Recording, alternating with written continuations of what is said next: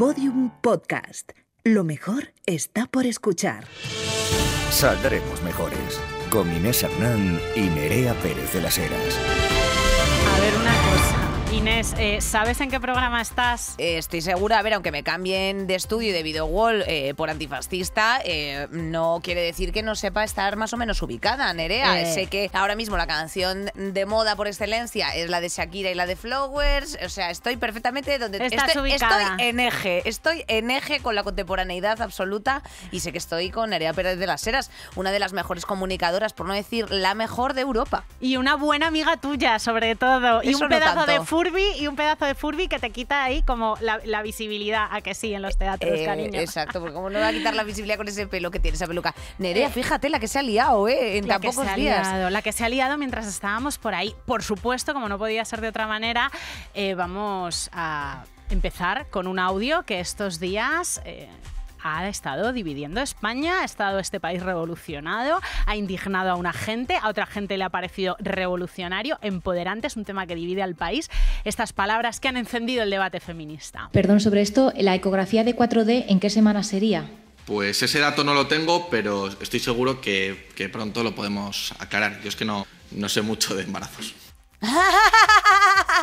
Anda, que os la hemos colado, ¿eh? Mejorcita, pensabas que te íbamos a poner eh, Nadie como tú. Mira, ya no sé ni qué estoy cantando, pero eh, ¿qué Lo te ha parecido ahí escuchando- ese bebé gigante fascista, vicepresidente de la Junta, García Gallardo, eh, de VOX, que dejó claro que pues él no sabía mucho de embarazos en general, no sabía mucho de nada. Ese es un pequeño spoiler que yo le lanzo, le invito, por si acaso él quiere recoger esta reflexión. Eh, No, no, voy- no íbamos a hablar de la canción, no íbamos a hablar de la canción. ¿Por qué no, Nerea? Es que yo siempre quiero hacer estas cosas y tú nunca me dejas. Podíamos llegar, hasta ahí podía. Mira, a ver, a mí la canción me parece fantástica. O sea, a mí ¿Te la canción me parece, me parece genial. Pues a mí todo lo que suena industrial, todo lo que suena a bollería industrial, a mí me gusta. A mí me gusta, me gusta Karol G, me gusta Shakira, me lleva gustando toda la vida. Me encanta. La canción me parece un desahogo súper legítimo, una cosa muy divertida, una maravilla. Incluso lo de insultar a otra mujer, pues claro que sí, porque la sororidad de verdad que no funciona como una secta, funciona de otra manera. Aquí lo, aquí lo de hablar fatal de otras mujeres, sobre todo si son eh, fascistas, lo hacemos constantemente. O sea, me parece que no pasa nada.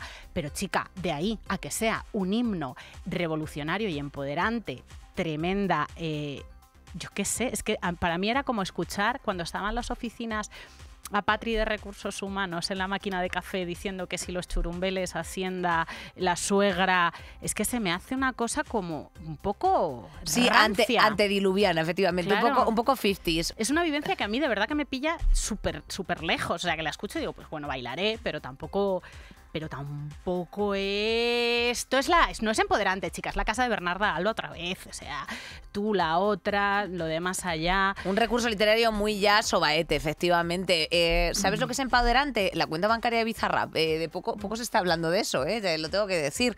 Y, y bueno, pues sí, a mí me parece una pareja turbotóxica, pero ¿quién no lo ha sido en un momento determinado de su vida? O sea, es que fíjate, incluso hablando de parejas o de dúos tóxicos, Lady Gaga y Lana del Rey, ya sabéis que ellas vivían en su Brooklyn natal y hacían sus conciertos y Lady Gaga empezó a ser más, o sea, empezó a ser famosa antes que Lana del Rey y tiene varias canciones Lana del Rey dedicándoles a Lady Gaga diciendo eh, eh, Crazy Gaga y cosas así, o sea, sin bromas. Que no pasa absolutamente nada. Si es que ya te digo que a mí, incluso, incluso esta, esta queja de Patri de Recursos Humanos en la máquina de café me parece absolutamente legítima.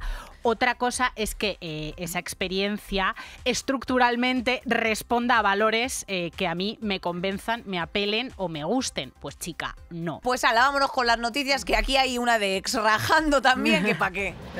Saldremos mejores. Carrusel de noticias.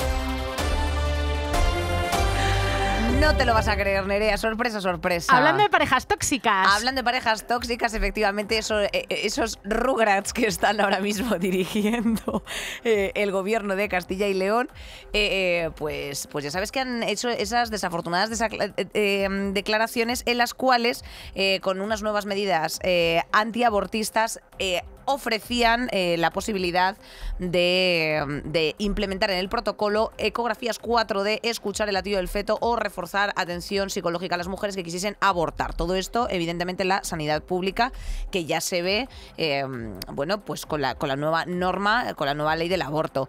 Eh, el gobierno a todo esto, pues ha dicho que por favor, eh, que se abstenga de aplicar estas medidas, que qué es esto y que, y que, Ha bueno, que va, que va en contra de las recomendaciones de la OMS, que por supuesto va en contra de cumplir, eh, o sea, de defender mm, la libertad de las mujeres y su derecho de interrumpir libremente el embarazo. Y bueno, pues básicamente esta ha sido la película. Matices pocos, eh, sobre todo respecto al derecho de las mujeres a decidir sobre sus propios cuerpos. Lo que tienen es un follón monumental. Y hablábamos de parejas tóxicas que no se comunican y no se llevan del todo bien. La comunicación es importantísima entre Mañueco, sobre todo, y Juan García Gallardo, su vicepresidente de Vox. Ay. Porque, claro, el tipo eh, ha cascado todo esto a, lo- a los sanitarios, profesionales sanitarios de Castilla y León, no les ha llegado nada.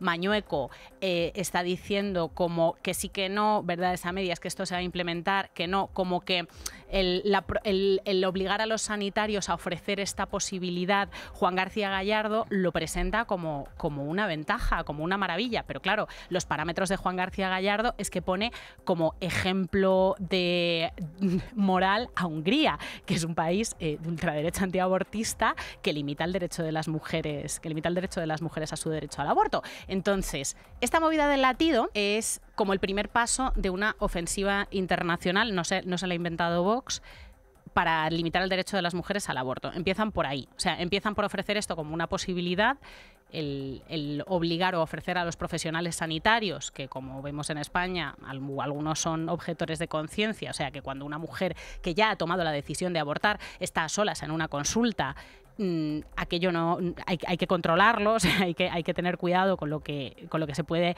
hacer y con lo que no. Entonces ofrecer la posibilidad al sanitario que le diga eh, no no es que yo te tengo yo yo por ley debo eh, hacerte escuchar el latido. Claro, pero bueno, por ley no, porque eso, es, o sea, quiero decirte, eh, va contra la ley. Claro. Y de hecho, la ley, o sea, la, la norma estatal es la que precisamente eh, está al amparo de todos los derechos de las mujeres. Y esto es sencillamente como al entrar siempre el conflicto de competencias en materia sanitaria que se tiene delegada a las comunidades autónomas, pues lo que hacen ellos es ofrecer la posibilidad. O sea, ellos en todo momento están diciendo, no, no, no, yo no estoy imponiendo esto, esto es una posibilidad que se les está ofreciendo a los sanitarios.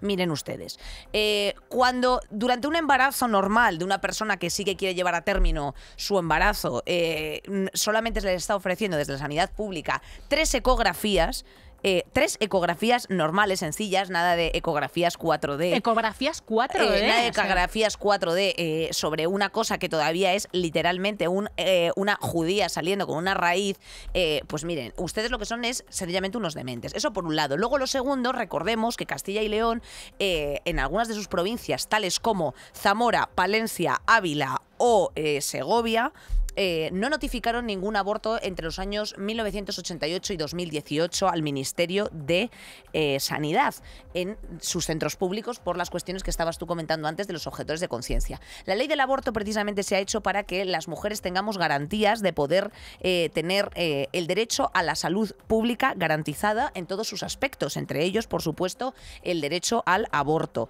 O sea, es decir, que en los turnos haya siempre alguien que pueda practicarlo, porque claro, en cuanto el jefe del hospital dice, este hospital es objetor de conciencia, porque a mí me han puesto aquí de director mi colega, el de la, el de la Diputación Provincial o el mi colega el tal, evidentemente tiene un sesgo objetivamente político. Y eso no quiere decir que luego después todos los sanitarios, ginecólogos y ginecólogas que están allí sean mm, practicantes de esa objeción, sino que simplemente atienden órdenes. Y dicen, no, es que esto no es así. Y tampoco lo pueden hacer eh, con una percha en un almacén, porque esto ya no es eh, el, siglo, el siglo XVIII, no sé si me explico. Entonces, em, la movida esta es muy seria. Es muy seria porque, para empezar, es como una especie de arrojaera política que se están haciendo, una tiraera política entre Vox y PP, como amenazando de a ver quién tiene los machos más cogidos y que es bastante determinante para lo que luego después van a pasar en otros, eh, en otros puntos, Sí, sí, en otros puntos, prove- eh, efectivamente, en otros puntos de, de otras comunidades autónomas. No es baladí, no es un juego de tal,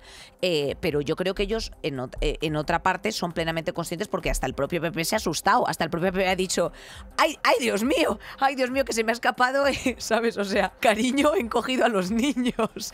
O sea, hasta el propio PP se ha, se ha asustado de, la- de las declaraciones por parte de este señor que yo creo que ni las habrá consultado con Bañueco, por otra Pero es que parte. no se han hablado, o sea, No no, se han habla- no hablan desde el jueves, Por eso te digo, dicho. porque, porque el PP, o sea, porque el PP siendo, siendo consciente y aunque sea pro, eh, prona- pronatalista, antiabortista y todo lo que quieras, eh, tam- no, s- o sea, no son tan torpes de quererse poner frontalmente contra una cosa que jurídicamente no tiene sentido, porque la ley eh, general del Estado va a estar eh, en, o sea, es choca en contraposición contra la, contra la de la comunidad autónoma y ellos no pueden ir en contra de esa norma. No sé si me Y explico, que Nerea. está en el Código Penal. O sea, en el Código Penal, Basically. en la última ley del aborto, en el Código Penal dice que cualquier medida coercitiva contra una mujer que quiera abortar, eh, ya sea ponerte con una pancarta en las clínicas que practican abortos o ya sea decirle, ah, bueno, pero tú estás segura de esta decisión que has tomado, pues te voy a, en un momento de vulnerabilidad emocional y frente a un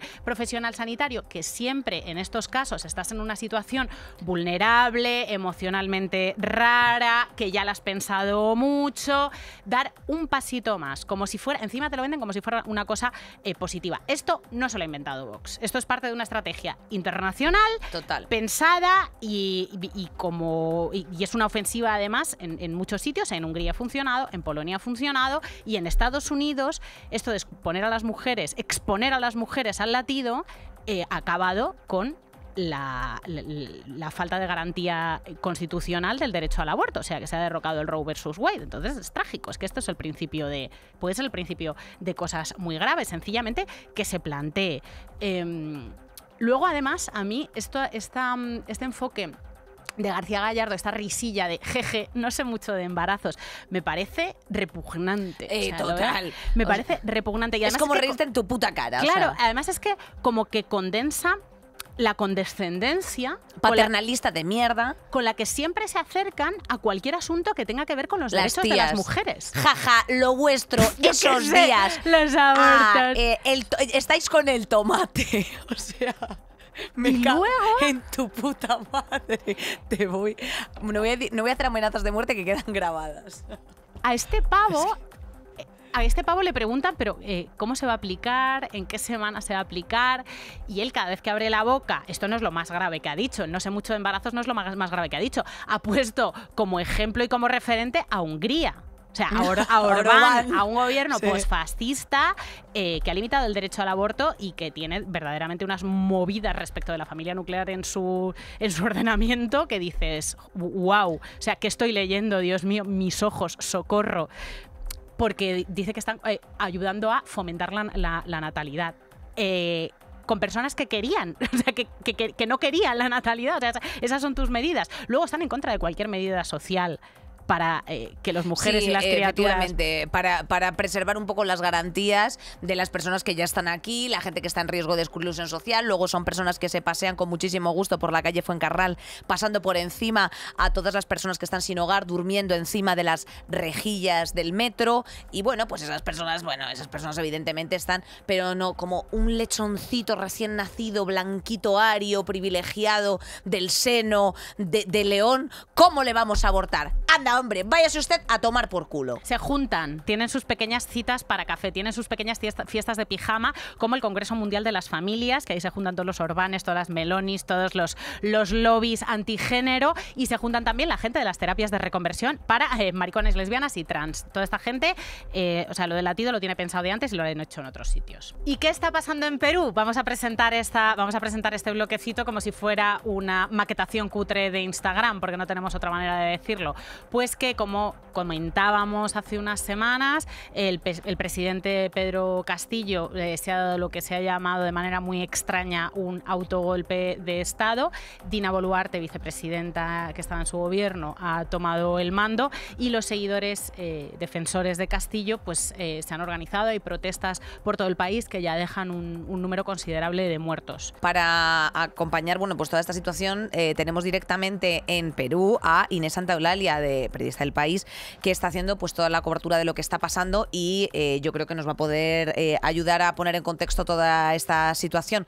Inés, ¿cómo estás? Buenas tardes. Hola, ¿qué tal? Buenas tardes. Encantada de estar con vosotras. Cariño, muchas gracias. Primero ponnos un poco en situación porque nos, nos ha desorientado y creo que a todo el mundo que esto se enfoque como un autogolpe de Estado, que es una figura muy rara cuando Pedro del Castillo no tenía ni el apoyo del Supremo, ni el apoyo del Ejército, ni el apoyo incluso de parte de su propio partido. Eh, ¿Por qué, ¿Por qué, lo hizo? ¿Por qué, o sea, eh, ¿Tuvo alguna vez poder real? Eh, ¿Era para desbloquear esta inestabilidad política en la que se encontraba? Pues en realidad esa es la, gran pregunta ¿no? que queda de todo esto, porque es imposible saber qué fue realmente lo que lo, llevó a tomar esa decisión que no, tenía, no sé, era una huida hacia adelante, pero que no, no tenían ninguna opción de prosperar. Eh, realmente él vivía muy atormentado, él nunca fue capaz de hacerse con el poder, él no conocía, no conocía a los entresijos del poder cuando llegó y al principio pues trató de, de, rodearse de políticos modernos y de izquierdas, pero luego estos enseguida se bajaron del carro del gobierno porque consideraban que el presidente actuaba de un modo muy errático. ¿no? Entonces él decide rodearse de todo lo contrario, de una gente ultraconservadora, eh, de una gente, pues, pues políticos con, de, dudosa credibilidad. Eh, en el año y medio que estuvo en el gobierno, él cambia cinco veces de, primer ministro y releva a 50 ministros. O sea, es, una barbaridad. Realmente nunca consiguió tener un gobierno estable. Eh, además, se sumaban denuncias de corrupción por, pues, alrededor de su familia, del mismo, de los miembros del gobierno, y por el otro lado, pues tenían frente al Congreso. Eh, es algo que, lleva pasando en Perú los últimos años. Perú lleva seis presidentes en cuatro años y generalmente acaban saliendo por este enfrentamiento entre el Congreso y el propio presidente. Obviamente el Congreso estaba radicalmente en contra de Pedro Castillo, y le hizo también eh, muy difícil pues, pues el transitar y, el, tener el poder. ¿no? Entonces lo que hacían era constantemente emociones de censura contra él. Él había pasado dos, las había superado y esa tarde que era el autogolpe, ese fallido, eh, era la tercera. Eh, la tercera moción de censura la que debía presentarse. Seguramente le iba a pasar también porque, porque realmente no había una mayoría para echarlo. ¿no?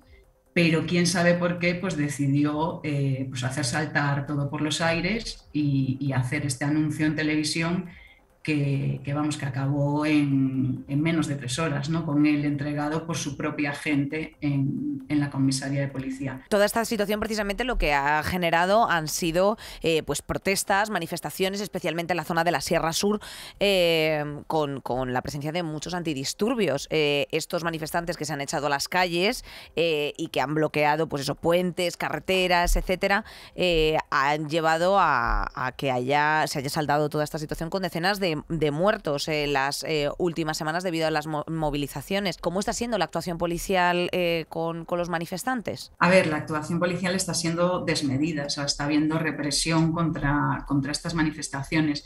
Eh, creo que es importante decir que, a ver, Pedro Castillo en realidad no tenía un partido, claro. A él lo escoge un partido como candidato o sea, un poco como, como un casting. Pues el, líder del partido no se podía presentar por denuncias de corrupción y entonces busca este maestro rural que le parece que tiene carisma para, para, presentarlo de candidato. Y por sorpresa para ellos mismos también, pues acaba ganando. Entonces, realmente las bases de Castillo no son el partido, sino son estas, estas poblaciones de las regiones andinas que se sienten completamente fuera de cualquier esquema del Perú real. O sea, hay un tercio de la población que vive en Lima y lo que no pasa en Lima, pues es como si no sucediera. Es como si no, no tuviera importancia. A Lima, Lima no mira a las regiones, entonces esta gente se siente, porque son regiones empobrecidas, se siente completamente aparte del Estado. Tener a Pedro Castillo como presidente para ellos era, pues, pues por primera vez, una oportunidad y, realmente Pedro Castillo lo que hizo durante el, durante el tiempo que estuvo en el gobierno fue denunciar que el Congreso le impedía, le impedía gobernar.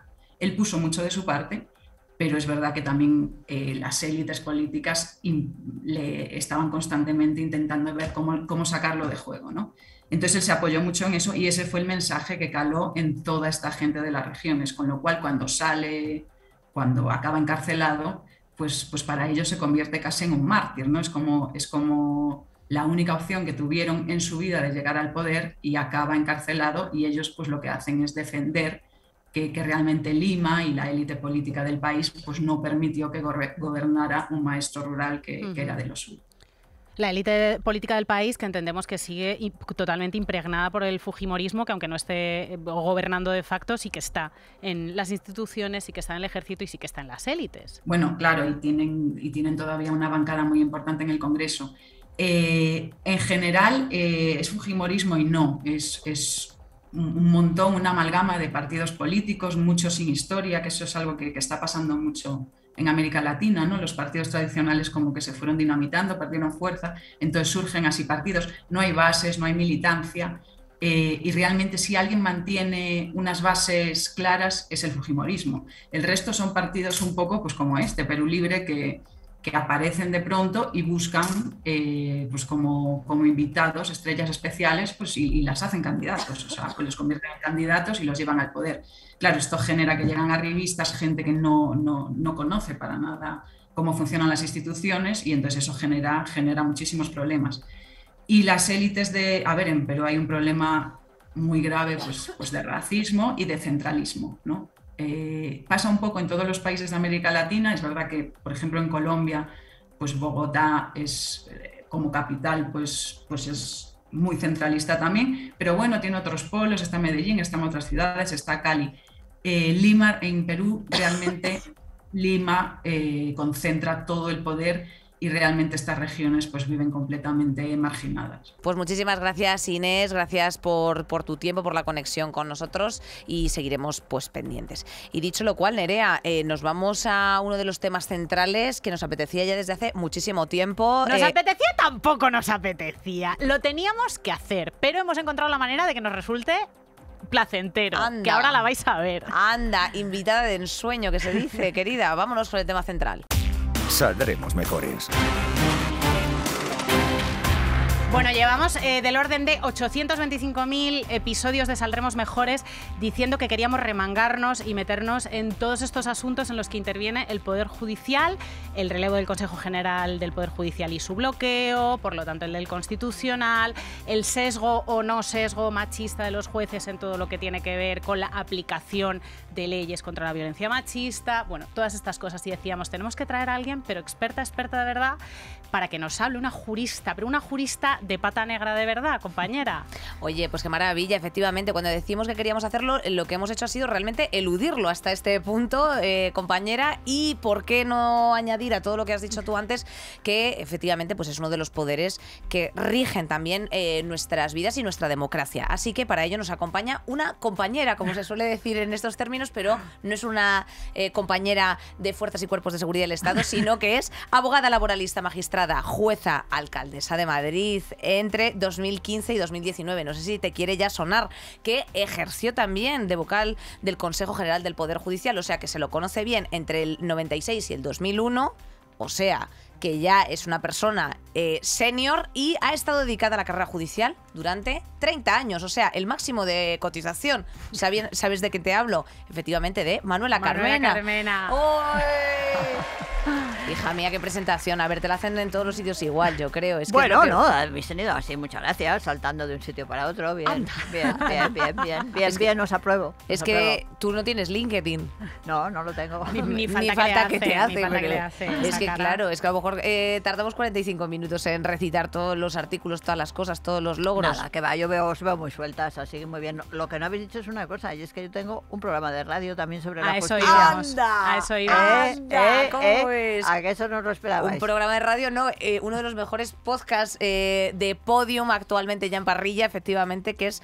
eh, ¿De qué va, Nerea? ¿Tú te has podido escuchar algo? Para vosotras que nos estáis escuchando, ayer, eh, 17 de enero, estamos grabando esto con Manuela Carmena y hoy se está estrenando su podcast, que es un espacio de ocho episodios, ya está el primero en el aire, de conversaciones tranquilas sobre temas que a ti te interesan, Manuela, sobre destrucción de tópicos y de cosas que tenemos ya como muy insertadas, que son así y ya está, y sobre las que, las que quieres re- reflexionar con diferentes invitados, invitadas.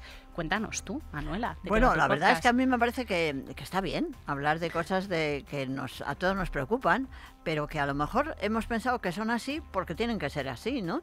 Y a mí una de las cosas que yo creo que siempre me ha gustado mucho es decir, ¿y esto por qué tiene que ser así? Y meter un poco como los dedos en los temas, ¿no? Y eso me gusta. ¿Qué temas? A mí me preocupa muchísimo que la clase política mienta tanto, ¿no? Que se mienta tantísimo, ¿no?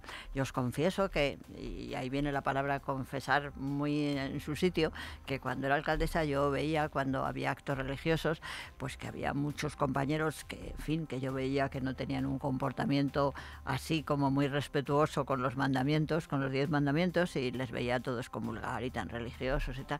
Y un día yo empecé a pensar, oye, ¿estará en vigor esto de los diez mandamientos? O- o- No, prescribió ya hace dos mil años. de- Fueron los primeros que se enteraron, justo esos compañeros de los que hablas. así Eh, tan y claro, yo dije, oye, esto, esto, eh, a ver si esto. Y entonces tengo un amigo cura. ¿Qué a colegas tienes tú, Manuela? Qué curioso. Bueno, entonces le preguntaba yo él, digo, bueno, oye, vale, ¿están en vigor los demás? Sí, sí, claro, por supuesto, me decía Fernando. Digo, oye, ¿y la gente de qué se confiesa? ¿Tú me puedes decir lo que se confiesa? Porque, fijaros, vosotros habéis visto que de vez en cuando a la gente le da por decir, hay que subir las penas porque las penas no producen el efecto, no sé qué. y tal y Sí, lo cual". de la, melón prisión permanente revisable. bueno. Anda, pero bueno, Bueno, Manuela. pues eso, que la gente le da por discutir sobre que si las penas consiguen que realmente la gente deje de hacer delitos o no. Sí. Yo sobre eso tengo muchas cosas que decir, pero... que- Como por ejemplo. Pues como por ejemplo que no es verdad, decir, como por ejemplo que es otro tópico que hay que resolverlo. Pero bueno, con Fernando, con este Sí. amigo mío cura, pues le dije, oye, mm, la gente de que se confiesa, se confiesa de mentir, la gente, no digo porque, oye, si se confiesa, vosotros le ponéis una pena y siguen mintiendo, esto no está siendo muy eficaz, ¿no? Y entonces pues hablamos de ese tema, ¿no? Y yo creo que es bastante interesante y, y Fernando explicó muy bien cómo enfocaba él el tema de las confesiones, me dijo que sí, que la gente se confiesa de mentir.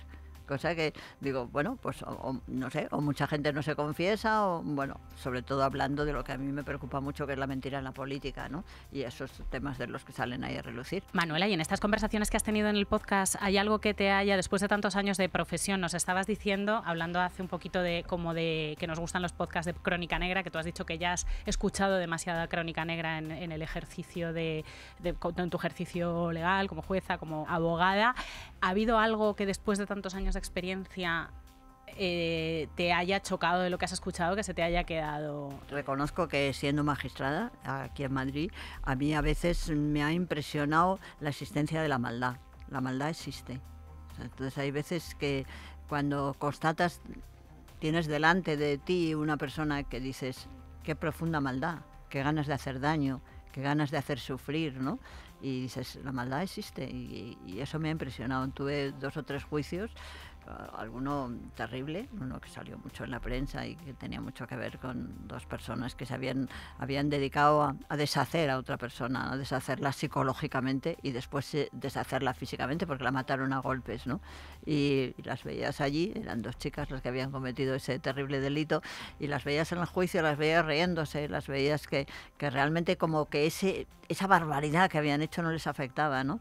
Entonces sí, me impresiona saber que la maldad existe. Se está dando un enfoque sobre las críticas de la ley del CSI y su aplicación, que Ah. es se están revisando penas y están saliendo violadores de la cárcel, como si sistemáticamente en esas eh, revisiones de pena eh, pues estuvieran, eh, vaya, que estuvieran mal revisadas, ¿no? Y como si más años de cárcel o penas más duras fuesen a hacer el mundo mejor. ¿Qué, qué opinas de esto? Bueno, yo El creo que hay- punitivismo. Claro, El hay punitivismo, dos exacto. ideas muy diferentes, ¿no? Una primera es pensar, pues que efectivamente las penas más duras eh, consiguen evitar los delitos, ¿no?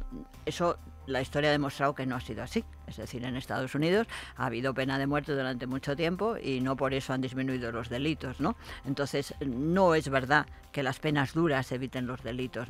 Otra cosa es lo que ha pasado con esta ley, que yo creo que en general me parece que las personas, el gobierno, digamos, eh, que los, eh, los protagonistas de la ley eh, no pretendían rebajar las penas, creo que no lo pretendían, pero en la manera de redactar la ley porque hacer leyes no es fácil, ¿no? Y a veces eh, te equivocas al hacer la ley, ¿no? Y una ley pasa, eh, por otra parte, eh, por, por muchos estados. O sea que no es una Sí, ley que se haga en 10 Pero- minutos, una pero servilleta. fíjate, Inés, que- ¿qué pasa? Que mm, si vosotros veis el boletín oficial del Estado, ¿no? Hay muchísimas veces que hay rectificaciones de la ley. Dice rectificación de la ley, rectificación de la ley. Es decir, muchas leyes tienen errores y, y no pasa nada. Yo creo que lo que pretendían las autoras, eh, lo digo en femenino, fundamentalmente de la ley, aunque fuera el gobierno el que la asumía, era, pues, no pretendían que se disminuyeran las penas, ¿no? Pretendían proteger a las mujeres, pero no que se disminuyeran las penas. Bueno, pues si por lo que sea has hecho una escala que en el momento concreto de aplicarla hace que personas que habían sido condenadas con anterioridad, si hubieran sido condenadas ahora, hubieran tenido más pena, no hay más remedio que rebajarlas. Eso es un principio general y eso pues va a pasar siempre porque lo dice la ley y digamos los principios, es una palabra así muy rara, pero los principios generales del, derecho. Los principios generales del derecho, eh, que precisamente uno de ellos también es la interpretación de los mismos. Sí, la interpretación es un, un medio, es decir, el, el principio es otra cosa, el- la interpretación es la manera de, ¿sabes? Entonces, en general se está interpretando correctamente porque cualquier persona que hubiera sido con, eh, si hubiera sido juzgada ahora hubiera tenido menos pena hay que rebajarle la pena no eso es así no pero no hubiera pasado nada porque se hubiera hecho la rectificación de la ley ya está hay que rectificarla. Si, si las leyes no pasa nada se rectifican constantemente y, porque es un tema pues complicado y además está muy bien y, y ya os digo me encantaría que la gente mirara la cantidad de veces que se dice rectificación. Se hubiera rectificado y ya está. ¿No es eh, acaso una realidad eh, mm, social el hecho de que la interpretación por parte de algunos jueces pase por un tamiz ideológico? O sea, es decir, eh, ¿hay parte en el cuerpo de la judicatura que puede tener un sesgo objetivamente machista? Yo creo que no. A mí me parece que es bastante sorprendente, además, el pensar que ahora mismo hay muchísimas mujeres en la judicatura, ¿no? Eh, cuando tuvimos el escándalo de la ley Mordaza, es decir, perdona, de, la manada, perdona, cuando es el escándalo de la ley de la manada, ¿no? Eran dos hombres y una mujer. Y yo conocía mucho a la mujer que estaba allí, ¿no? Es decir, una chica... Que menos mal que estaba, porque el juez de eh, Ricardo González era el que aludía al caso como si fuese aquello un holgorio. Sí, era tremendo. Lo del el ponente, tremendo. Pero te digo, estaba allí esta mujer, que ya os digo que, que la conozco mucho y es una mujer muy inteligente y, y en absoluto machista, ¿no? Lo que ocurre es que muchas veces eh, yo creo que los jueces lo que sí son es eh, muy apegados a la, a- la normativa concreta, a la estructura, digamos, de los parámetros de las penas, a la aplicación muy, muy burocráticamente casuística, ¿no? Mm. Sin más, ¿no? Pero yo no creo que se pueda decir que los jueces en general sean machistas. No es cierto. Los jueces en general no son machistas. Eh, es quizá es un cuerpo eh, profesional un poco aislado de la realidad mm, y, y muy vinculado a las letras de las leyes, muy vinculados a los requisitos. Mira, os voy a contar una cosa que os puede dar una idea, ¿no? Una vez estaba yo en, en la escuela judicial, ¿no? En Barcelona. En Barcelona. Y estaba con un amigo mm, que llevaba cosas de estas de gestión y tal. Dijo, vamos a hacer, vamos a hacer un- una cosa aquí, un, un juego. Dijo, vamos a ver, eh, los jueces, los que eh, eh, estaban... Los o sea, los jueces fascistas, por favor, a la derecha. que va, que va, que va mucho mejor, mucho mejor que todo eso. Dijo, vamos a hacer aquí, era un curso de formación de jueces, ¿no? Dice, vamos a ver tres colores y cada uno se va a identificar con un color, ¿no? El rojo es la gente pues que tiene mucha capacidad de acción, mucha, la- el azul es la gente que tiene mucha capacidad de reflexión y tal, y el amarillo es la gente que, que lo que le gusta mucho es el requisito, lo concreto y tal. A ver, ¿cuántos os consideráis rojos? Muy poquitos. ¿Cuántos consideráis azules? Un poquito más. ¿Cuántos os consideráis amarillos? Muchos más. Entonces, lo que quiero decir es que el, el perfil sociológico de gente que lleva 5, 6, 7 años estudiando las normas, nada más que las normas, que ese es un gran problema, que eh, en la carrera no se estudia más que las normas, pero en la oposición no se estudia más que las leyes, no se estudia el resultado que dan las leyes, no se estudia los efectos que producen, no se estudia la necesidad de que haya cambios en las leyes para mejorar la vida de las personas. ¿No? Todo eso no se estudia. Entonces son gente muy rígida en el sentido de la norma, eso es, pero no es machismo, es, es un- una formación que yo creo que no es la que necesita la sociedad ahora. ¿eh? A mí me parece que habría falta una, una, una, eh, un poder judicial mucho más comprometido con la realidad, que se diera cuenta de que las normas no importa la letra, sino que importa es lo que, lo que produce en la función y que lo más importante de la ley es que valga para mejorar la sociedad. ¿no? Quizás es una interpretación, ¿no? O sea, el decir estás alejado de estás alejado del mundo, estás alejado de la realidad, también se puede int- interpretar como, bueno, pues estás alejado de una o alejado o alejada, porque no garantiza nada No, que las claro, juezas, claro. por supuesto que una juez sea una mujer no garantiza absolutamente nada. Tenemos muchísimos ejemplos eh, de mujeres súper conservadoras, Así la es. propia Meloni de la que hablamos, o sea, aquí hablamos constantemente. Que sí, que sí. Meloni Eh, o Oloni. que Claro, exactamente, Meloni. Oloni, eh, Meloni se sabe poco de ella, últimamente está muy... Es feminista no se ahora. sabe, ahora es Ah, feminista. sí. ahora es Calla, feminista, sí, calla, sí, que ahora-. Pues está bien, mira, la gente Ahora va a ir a la base. Esto es la reinserción, eso está bien, está bien. Según lo que comentas, sí se puede decir que, que el- en la judicatura hay cierto conservadurismo, más que nada porque tienes que pasarte cinco, de media cinco años estudiando o más, 300 temas, estar pegada, como tú dices, a las leyes, a las normativas y, eh, y estar fuera del mundo. Traigo una, una cita del emérito magistrado emérito del Supremo, Martín Pallín, que decía que es un, eh, España es el único país que da la capacidad de juzgar a alguien que ha estado encerrado cuatro o cinco años sin saber nada del mundo, que es un poco Sí, sí, lo sí. que comenta. Pero, de la pero- impresión. pero tú fíjate que tú me estás hablando de conservadurismo, sí, conservadurismo sí. Te digo, por- porque digamos en principio mm, el, el derecho, eh, como se estudia en las universidades, en las facultades de derecho, es una pena, porque en lugar de estudiar para qué vale, eh, en lugar de estar abierto, yo pondría clínicas jurídicas de que la gente no estudiara las normas, estudiara los conflictos que tiene la sociedad y cómo vale o no las leyes para resolver esos conflictos. Una visión completamente O diferente. más ¿no? incluso los, los casos, ¿no? Como se es. hace, como se hace en el sistema anglosajón, es. que se estudian directamente las sentencias y los casos y, en- y conforme a eso, Pero- conforme a la jurisprudencia, van construyendo su propia acuerdo, Inés, normativa. pero al mismo tiempo hay que ver a la gente. Eh, yo creo que yo no concibo una facultad de derecho que no tenga una clínica jurídica donde los estudiantes desde el primer escuchen los problemas que se les plantea a los seres humanos, a los vecinos. Claro. Que, Ujú. que desde el primer día los estudiantes no vean un libro, sino que vean una persona. Lo mismo que en medicina hay que ver personas, en derecho hay que ver también personas, porque el derecho es una norma de convivencia de las personas, ¿no? Y hay que ver qué efecto producen las leyes.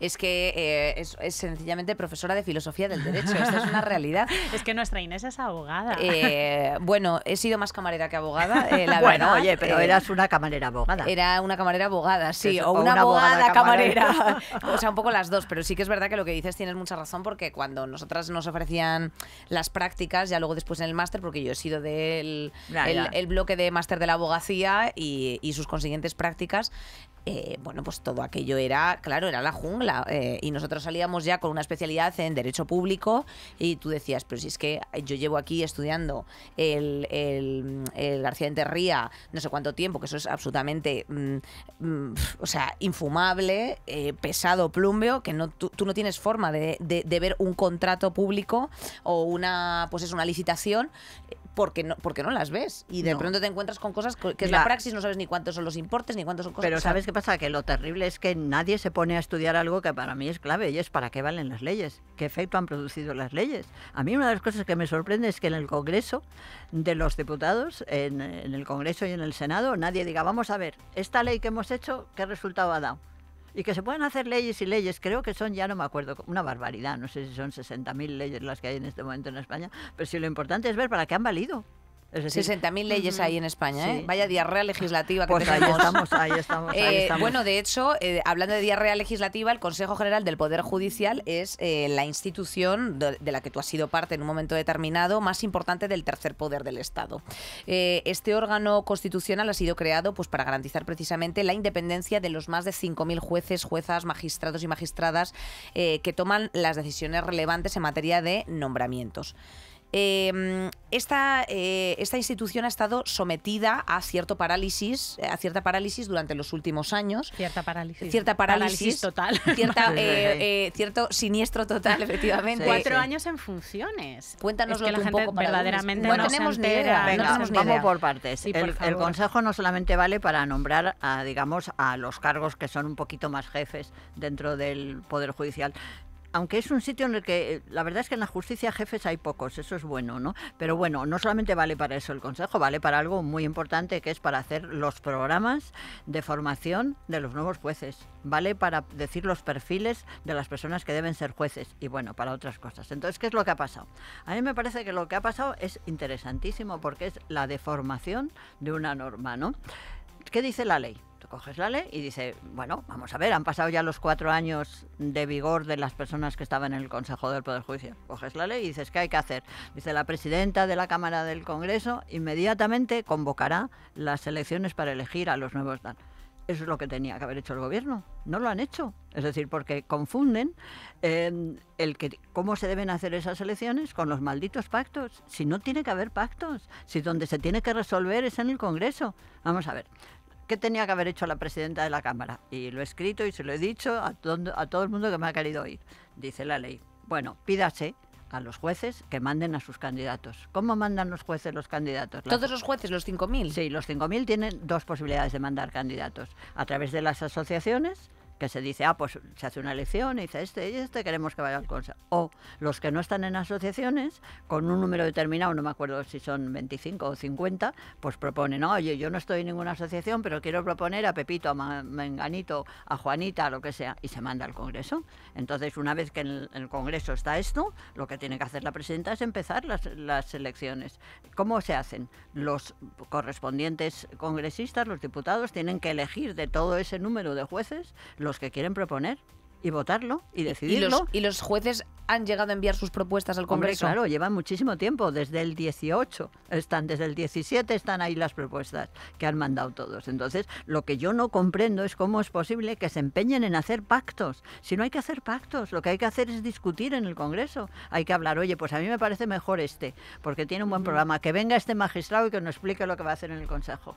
Que venga el otro y que diga, eso es lo que hay que hacer. El Congreso lo que tiene que valer es para realmente discutir y debatir. Y a partir de ahí, oye, que no se consigue esos tres quintos en una primera votación, oye, pues como ha pasado a los americanos, pues otra vez otra votación y otra votación hasta que se consiga. Pero no hay que hacer pactos. En ningún sitio dice la ley que hay que hacer pactos. Hacer pactos es confundir el- la utilidad de la ley, es discutirlo en el Congreso y que diga un magistrado mm, de los que han seleccionado las asociaciones o de los que han sido propuestos por los eh, apoyos de sus compañeros, oye, pues el Consejo debería hacer esto. Pues creemos que la formación de los jueces debe ser de este tipo. Pues creemos que las- los- la organización de los juzgados debe ser esta, lo otro. Eso que se discuta en el Congreso, que se discuta y que los que quieren ser eh, llegar a cargos de vocales del Consejo General del Poder Judicial nos digan qué van a hacer. En- y el bloqueo, entonces, eh, se debe a que esto está en manos de una negociación que, no, que no Que no debería procede. estar. que, no procede, que es enfermiza y que da un resultado Entre partidos, además. Claro, desastroso. Claro. Es desastroso porque claro, los partidos, quien, quiero decir, el- todos los congresistas eh, con los debates eh, públicos tienen todo el derecho de decidir que, quiénes serán los vocales del Consejo. Pero no en un plan entre partidos que dices, oye, yo a mí este no me gusta porque... Que eso y es lo que estamos viendo. o sea, Claro, claro. como ciudadanas de a pie lo que estamos viendo es, em, lleva cuatro años esto bloqueado porque ninguno de los dos llega a un acuerdo, o sea, Y- porque se, se dirime entre PP y PSOE, Claro, entonces y no entendemos la y separación de entre poderes. PP y todos los que quieren meter más cuchara. Sí. Pero eso es tremendo, porque eso no es la manera de hacerlo, porque entonces ahí además siempre sale la mediocridad, ¿no? No, ese tuyo no, porque a mí me molesta mucho, no, a mí el tuyo, y entonces, ah, bueno, pues uno que no moleste nada. Entonces se va bajando, se va bajando el, listón. nivel, el listón. Sí. Siempre sale la mediocridad, da igual cuando escuches esto. Eh, efectivamente, eh, lo que queríamos preguntarte es qué consecuencias tiene a nivel ciudadano eh, una elección del Consejo, o sea, eh, montar una cúpula del Consejo General del Poder Judicial. ¿Esto nos afecta en algo? ¿No nos afecta Mira, en nada? Muchísimo. Tú imagínate que la gente, bueno, yo qué sé, por ejemplo, una persona en un momento concreto, pues tiene que hace- quiere hacer una reclamación porque alguien le debe dinero y tal. Entonces, hay algún procedimiento muy interesante en las leyes que uno puede hasta 2.000 euros se puede hacer directamente sin necesidad de abogado ni procurador ni nada, ¿no? Pero bueno, la Por un proceso monitorio. Efectivamente, Anda. exactamente. ¿Cómo se nota en Un la 10, vestida? Anda. Bueno, pero tú sabes que para ese proceso pues hay unos modelos y esos modelos están colgados por el Consejo General del Poder Judicial. Y el otro día yo hablaba con un juez amigo mío aquí en Madrid y digo, oye, ¿cuántos monitorios sin abogado vosotros? Y me dice, prácticamente ninguno, ¿Por qué? Todos los monitores van con abogados ya. Prácticamente, ¿por qué? Bueno, pues porque está mal explicado, porque no está dicho. Entonces, todas esas cosas las puede hacer el Consejo del Poder Judicial. Eh, la gente se queja muchísimo, pues joder, todo tarda muchísimo, los juicios tardan una barbaridad. La gente se queja porque los magistrados no les atienden bien, porque no- todo eso es absolutamente responsabilidad del Consejo formar a los jueces, hacerlos que sean realmente el tipo de persona que debe resolver los conflictos en la sociedad, ¿no? Eso es función del Consejo, claro que sí. Y no tiene ningún sentido. Lo que está pasando es una locura. Está, digamos, eh, cayendo al fondo del, del- pozo de, de los comentarios. La institución se está deshaciendo. Pero se está deshaciendo porque la quiere controlar los partidos políticos. Y eso es un error. Es decir, se la debe debatir el Congreso, todos los diputados, el Congreso en general, que lo oigamos, que oigamos por los ciudadanos por qué se elige a un juez o a otro, por qué se elige a un juez que tiene una determinada línea en las sentencias, por qué se elige a otro que tiene una capacidad de gestión o por qué se elige a otro que no le preocupa nada la gestión de los procesos judiciales. Todo eso es lo que se debe discutir. Tenemos los ciudadanos derecho a que se discuta en el Congreso, no a saber que se ha reunido PP y, y Podemos y el PSOE y el otro y han decidido que Pepito y Mari Carmen. ¿No? ¿Por qué? Si lo que dice la ley es convóquese de esta manera, ¿no? No dice pónganse ustedes a hablar a ver si llegan a un acuerdo. Eso es lo que no dice nunca. Y, nunca se- y ahí está. Y cuando dice el Partido Popular, miente estrepitosamente cuando dice no, tienen que ser los jueces. Pero si los jueces han designado ya a los que quieren que sean, lo han designado las asociaciones y lo han y están ahí, están desde el desde perdón. Desde el siglo pasado, sí. Desde el siglo Desde el pasado. siglo pasado están Desde- están desde el, desde el año 17 están ahí. Eh, y hay un bloqueo cualitativo y cuanti- cuantitativo, porque hay plazas vacantes, Claro, bastantes, que no se pueden, Claro, que un claro. tribunal, o sea, que, un- que una cúpula en funciones no puede designar. Entonces, sí, porque ha habido una norma que ha dicho que se debería hacer así y ahora eso es una ley y hay que cumplir esa ley y ya está. Ley que para mí es equivocada, porque yo creo que lo que había que hacer era hacer lo que dice la ley, convocar directamente. Por Dios, qué manía de hacer pactos, qué manía de que al Congreso lleguen las cosas ya elaboradas. Claro, como no se discute políticamente, al final en el Congreso no hacen más que insultarse unos a otros. Y es absurdo, es absurdo, pero no se habla de, de los problemas de verdad. Imaginaros un- unas sesiones del Congreso con magistrados que van a ser candidatos a ser miembros del Consejo, que hablan de cómo desde su punto de vista se puede agilizar la justicia o de cómo se puede, digamos, acercar al ciudadano. Marciano, claro, que- nos parece como- ¿No sería interesantísimo Vamos. escuchar a un magistrado que dijera, oye, pues mira, yo tengo esta experiencia, yo he pensado que en el Consejo podemos hacer esto y lo otro, y sé que cuando el Consejo decidió hacer lo otro hace cuatro o cinco años fue un fracaso por esto, por lo otro, eso sería lo razonable. Sí, que la verdad es que hay un cierto desconocimiento y me parece muy interesante porque la única relación que tiene ahora mismo la ciudadanía con la justicia es que está lenta y colapsada. De hecho, es el propio Consejo General del Poder Judicial los que han notificado eh, que, que- que, por favor, se creen más juzgados en, en ciertos, o sea, bueno, pues eso, en, Bueno, en ciertos partidos judiciales porque no son suficientes. Eh, se, han- se están dictando unas sentencias de media de 310, eh, de 310 sentencias al año, eso es una barbaridad y, no permite dar una calidad de profundidad o de lectura o de análisis a lo mejor que merecería y sobre todo eh, el 72% de los españoles piensa que siempre que se pueda eh, es mejor evitar acudir a la justicia por su lentitud. Claro, eso, eso a ti como jueza, como magistrada, Mira, ¿qué te genera? Pues Porque mira, a mí yo me da llevo- un penón. Pues mira, yo llevo toda la vida eh, trabajando sobre esto y desde hace muchísimo tiempo llevo diciendo que el tema no es seguir creando más y más más juzgados porque son modelos que son ineficaces y lo que hacen es volver a reproducir los modelos. De hecho, hay juzgados que van muy bien, hay juzgados que van al día y hay juzgados que van fatal, ¿no? Entonces yo creo que lo que hay que replantear es de alguna manera cuál es el trabajo de los jueces, cómo se puede gestionar mejor, cómo se les puede ayudar para que realmente mm, puedan efectivamente ser útiles y luego hay que empezar a plantear un poco qué sentido tiene esas sentencias enormes. Venga a repetir lo mismo, se siguen haciendo las sentencias como del año de Mari Castaña, ¿no? Es decir, las sentencias... Como de la de los aranzadis esos, ¿no? Claro, De- claro, de- no, para pero aprender. De verdad, mira, a mí de las cosas que más me han gustado, un día me paró una señora cuando era jueza, me paró una señora por la calle y me dijo, oiga, yo he leído una sentencia suya y me gusta, porque son sencillas, parecen recetas de cocina. Y a mí eso me encantó porque yo creo que lo que hay que hacer es recetas muy sencillas, además hay que hacerlas hablando con la gente y decir, bueno, vamos a ver, yo llegamos a esto, este acuerdo, se puede poner una, una manera completamente distinta de actuar, que, se, que signifique pues, sobre todo ser eficaces, ¿no? Fijaros que en este podcast de cuestionar los tópicos, pues para mí uno de los tópicos que cuestiono es por qué las sentencias son tan largas, se dicen tantas cosas inútiles y se entienden tan poco, ¿no? ¿Qué sentido tiene? Tiene, no tiene ningún Total. sentido, ¿no? Entonces, eh, entre hacer una sentencia que tienes que repetir 40 veces lo mismo, con unos procedimientos que son del año de Maricastaña, te quiero decir, eh, bueno, eh, eso lleva al juez una, una cantidad de tiempo inútil y lo único que importa del juez es que decida bien, decida bien en el conflicto. Y hay muchas maneras de decidir bien con sencillez, con cinco, con, con cinco líneas, ¿no? En, en Naciones Unidas, por ejemplo, está limitado el, el número de, de, De palabras palabras por sentencia. Por, por sentencia. Y es que no tiene sentido. Si además ahora estamos viviendo el mundo de la oralidad, ¿no? Lo fundamental es eh, que sean realmente orales. Y además, una cosa muy bonita es que las personas que a las que se dirige la sentencia, cuando el juez dice he decidido esto por esto, pues puedan decir, oiga, magistrado, que se ha equivocado, que hay... y el magistrado puede decidir y, y rectificar, no sé, una cosa pues, completamente distinta, ¿no? Y entonces sería muy interesante porque yo sé que entre los candidatos que hay presentados por todas las asociaciones, por todas, hay magistrados que, saben muchísimo de esto y porque muchos han sido compañeros míos y les conozco y que quieren modificar realmente la justicia, pero que eso, por Dios, que se debata en el Congreso, que los ciudadanos sepan que hay esperanza, que hay magistrados que tienen ideas claras de lo que hay que hacer y que los congresistas decidan, bueno, pues vamos a, votar al que tiene ideas claras, al que nos hace un proyecto que nos gusta y no simplemente al que me ha dicho al oído el partido tal o el partido cual, ¿no? Bueno, pues muy de acuerdo.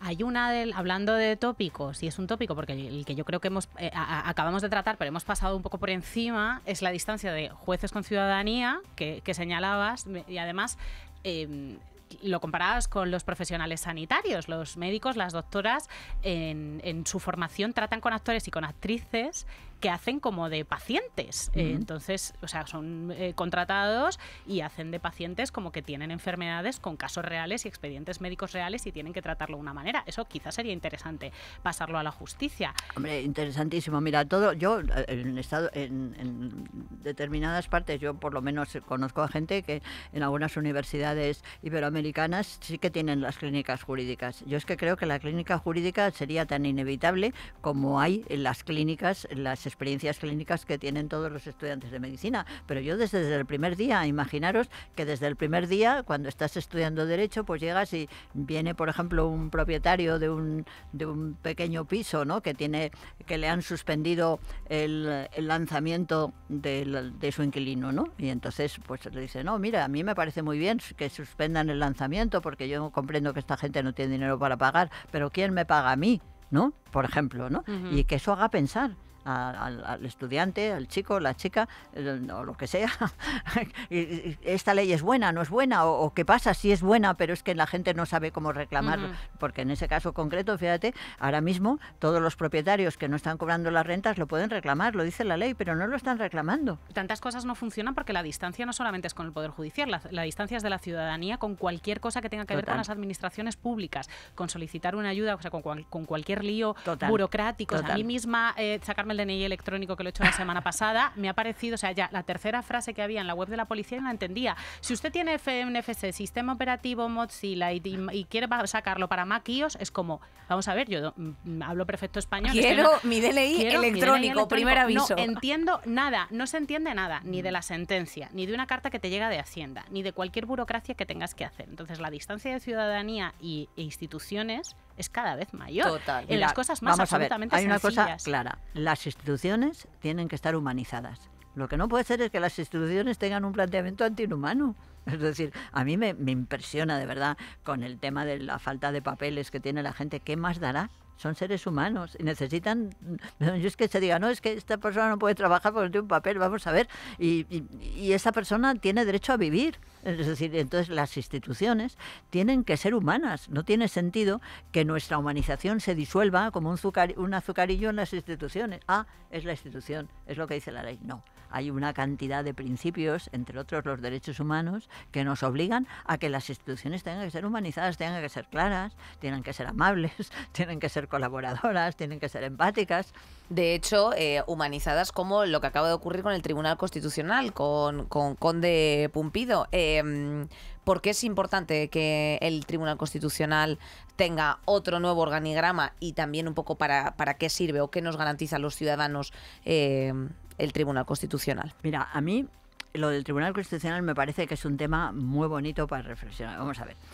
El Tribunal Constitucional es un tribunal político. Porque nosotros hicimos una constitución y dijimos, bueno, bueno, queremos que haya un tribunal que nos garantice que se cumple esa constitución. Político, estoy de acuerdo, pero no partidario ni partidista. Esa es la diferencia, ¿no? Entonces, los magistrados que llegan al Tribunal Constitucional tienen que ser personas que tengan una visión política, sin duda, pero que no se dejen absolutamente subyugar por la influencia de los partidos, no pueden ser partidarias, ¿no? Y ahí yo quería hablaros de un magistrado del Tribunal Constitucional de Sudáfrica, que es extraordinario. Eh, Tengo, mi hermana sabe inglés mejor que yo, pero lo estamos haciendo entre los dos. Y además estamos traduciendo un libro de uno de los magistrados del Tribunal Constitucional de Sudáfrica, que es maravilloso, que se llama Albisak. Y este es un hombre que era compañero de Mandela. Los dos formaban parte del Congreso africano, del Congreso que era, digamos, la organización, eh, digamos, revolucionaria que Mandela dirigía contra el apartheid, con toda la barbaridad de lo que estaba pasando en Sudáfrica, ¿no? Y bueno, pues al final cuando se consigue acabar con toda esa historia absolutamente terrible y Sudáfrica empieza de verdad a ser un país con respecto a los derechos humanos y tal, le nombran a Albisac, le nombran magistrado del Constitucional. Y él desde el primer momento dice, yo voy a defender la Constitución y si Mandela hace algo que es incorrecto, yo diré que él hace algo incorrecto. Es decir, un magistrado del Constitucional tiene que tener la capacidad crítica de saber que la mejor forma con la que puede ayudar a la Constitución a la que se debe es cuando los que le han nombrado lo hacen mal y él dice, lo han hecho mal, rectifíquenlo. Eso es la diferencia entre ser un magistrado como debe ser del Tribunal Constitucional, político pero no partidario, o lo que hemos visto ahora de magistrados absolutamente partidarios, que hacen lo que les pide el partido. Esa es la gran diferencia. Es un buen síntoma que haya salido Conde Pumpido. Hombre, yo creo que es un buen síntoma desde mi punto de vista, en principio porque de alguna manera tiene la oportunidad de demostrar que un tribunal constitucional eh, formado por una mayoría de personas progresistas van a asumir que la función del Tribunal Constitucional es la defensa política de la Constitución, nunca la defensa de los partidos que les han nombrado. Amén. Eh, la formación de, de una persona De la carrera judicial. de la carrera judicial es enorme, no se la puede permitir eh, casi nadie. Entonces, eh, sí, que, sí que sabemos que es gente de una determinada extracción social, con una determinada ideología, que en nuestro país además tiene una determinada herencia. Esto es, esto es así, eh, Manuela. Regular, regular. Quiero decir, eh, hay gente que ha estudiado con becas, gente que tiene becas. Es verdad que la, la oposición es mucho tiempo que hay que estudiar y que alguien te lo tiene que pagar y si no tienes dinero no lo puedes hacer. Eso es verdad, ¿no? Y por supuesto siempre hay ahí un nivel de que quien tiene una familia con una capacidad económica importante lo tiene mucho más fácil que quien no la tiene. Pero, sin embargo, sí que hay que pensar que aunque haya habido personas que han tenido becas, que han estudiado con muchas dificultades, eso no quiere decir que no sean conservadoras. Yo creo que muchas veces las gentes que proceden, eh, mm, digamos, de familias más modestas y con más dificultades, acaban siendo mucho más conservadoras que las personas que han tenido más posibilidades económicas. Mira, yo recuerdo que cuando estaba yo en la judicatura había un magistrado que nos contaba mucho eso de no, yo me echo a mí mismo porque yo tan becas y tal. Entonces había otro magistrado muy gracioso con muchísima ironía y decía, ¿sabes qué pasa? Te has hecho a ti mismo, pero te has hecho mal. ¿Sabes? Eh, Quiero deciros con eso que ese mito de pensar que porque uno proceda de una familia con pocos recursos económicos, Mm. porque has tenido que estudiar beca y tal, vas a ser una persona eh, más empática con las clases Sí, sociales. sí, sí, está No, claro, pues no. efectivamente. Y además no hay más que ver cómo se vota, ¿no? Y dónde se vota más progreso. Si se vota en un barrio obrero o se en otro barrio, ¿no? Eso es una... es- eh, tenemos que tener mucho cuidado. Vuelvo a los tópicos, no seguir con los tópicos, ¿no? Totalmente. Bueno, pues hablando de los, de los tópicos y de cuestionarse eh, cosas, eh, mm, hagámonos todas las preguntas del mundo en el nuevo podcast de Manuela Carmena, que es interesantísimo y nos ha gustado mucho. Eh, ocho episodios, destruyámoslos y... y Los estos- tópicos, los tópicos, los no los episodios, los- por Dios. No, no, no, destruyamos los tópicos, los que sobre todo nos impidan avanzar. Eso es. Eh, de que sí, de que sí. Escuchadme, streameadme a Carmena, por favor, que es la mejor. Buena Carmena, que Venga. tenemos ¿eh? muchísimas ganas. Manuela, muchísimas Gracias gracias. por tu tiempo. Nos has Oye, iluminado nada, con me ha encantado. cosas. Lo hemos pasado estupendo. Y nos vemos prontísimo. Bueno, Muchísimas me ha gustado por todo. muchísimo estar con vosotras, ¿eh? Vaya dos, qué buenas sois, ¿eh? Oye, muchísimas gracias. Qué fuerte que nos digas no, esto. pero estoy mirando, digo, pero qué chicas, aparte de súper guapas, es que qué buenas sois, me ha encantado. Es que así entra mejor el marxismo, ¿verdad? Claro, es No este sé, no pómulo sé. es que no se, no se consume Estoy igual. impresionada. Yo pegué carteles en tu campaña mucho. de- no, te, bien. no te lo he dicho para, para no pelotear, pero pegué mucho cartel Pues por muchas gracias, pero Sí, yo te- creo que nos valió la pena, ¿no? Nos valió la tanto pena, sí, hombre, porque tanto que tenía, sí. yo tenía eh, una banderola con tu jeto en mi balcón también. Es que madre no, mía. no, nos valió la pena. ¿eh? Yo te digo que yo ahí me encuentro tantísima gente que nos dice, ay, no puedes volver y tal. Digo, no, cada uno tiene su tiempo, pero tiene que volver gente como Mónica, gente como, bueno, Rita, Yolanda, te quiero decir yo, tanta otra gente. Pues nada, eh, streameadme a nuestras políticas de confianza también. eh, mandamos muchísimo amor, te deseamos todo el bien, eh, todas las reflexiones del mundo. Y nada, hija, que nos acompañes por muchísimo tiempo aquí en Podium Podcast, que Vale. también es nuestra casa de confianza. Y por supuesto, a, todo el- a toda la crew que está con nosotros al pie del cañón un día más, desde Lourdes a Nacho, Marisa, Sara Gema, Luque, Sara. Julia, eh, efectivamente, toda, toda la, la panda, eh, siempre sí. Eh, os queremos, mejorcitas. Nos vemos eh, no en los tribunales, sino en los teatros. Fíjate que también empieza por T y en las calles, sobre todo. Salid a la calle, cago en la hostia. ¡Mua! Hasta la Besos, semana que primitas, viene. hasta la semana que viene. Os queremos mucho. Venga, fenomenal. Saldremos mejores. Con Inés Hernán y Nerea Pérez de las Heras.